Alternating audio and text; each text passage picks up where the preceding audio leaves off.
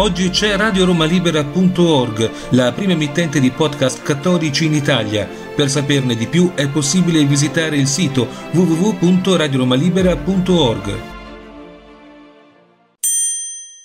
Hanno contro già numerose sentenze di tribunali amministrativi e Consiglio di Stato, eppure non pochi prefetti in Francia continuano a dimostrarsi particolarmente zelanti nel proibire, guarda caso, solo ed esclusivamente processioni e manifestazioni a carattere religioso.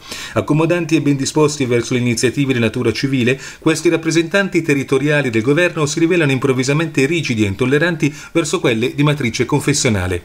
Come ha fatto il prefetto di Vlaine, cancellando d'imperio un evento religioso in agenda per lo scorso 13 giugno Un veto costato caro però. Il Consiglio di Stato ha dato ragione agli organizzatori che hanno subito presentato ricorso. Quell'appuntamento non si sarebbe dovuto ostacolare, per cui è stato loro riconosciuto un risarcimento di ben 3.000 euro.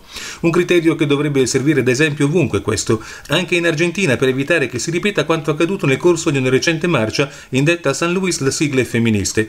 Ufficialmente contro i cosiddetti femminicidi, la manifestazione si è trasformata ben presto in un attacco d'odio contro la fede cattolica e contro la Chiesa, con scritte allo spray verde anticlericali e filoabortiste sulle mura della cappella del collegio Don Bosco a Felucio e su quelli dell'ospedale Rivadavia che nel febbraio scorso si è dichiarato obiettore di coscienza contro l'aborto.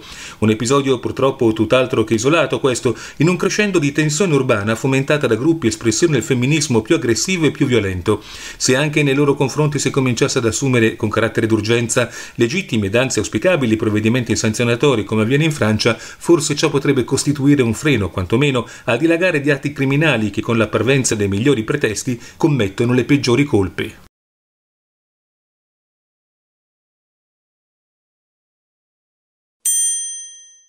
Oggi c'è radioromalibera.org, la prima emittente di podcast cattolici in Italia. Per saperne di più è possibile visitare il sito www.radioromalibera.org.